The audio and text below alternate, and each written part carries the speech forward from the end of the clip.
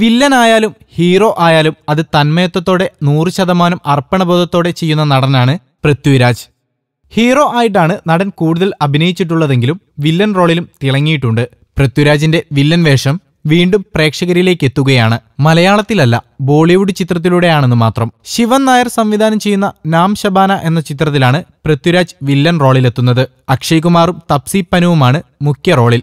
Manoj Bajpai Anupam care എന്നിവരും ചിത്രത്തിൽ അഭിനയിക്കുന്നുണ്ട്. തമിഴ് ചിത്രം കാവ്യതലൈവൻ കനാക്കണ്ടൈൻ തെലുങ്കു ചിത്രം പോലീസ് പോലീസ് എന്നിവയിലാണ് പൃഥ്വിരാജ് ഇതിനു മുൻപ് വില്ലൻ റോളിൽ എത്തിയത്.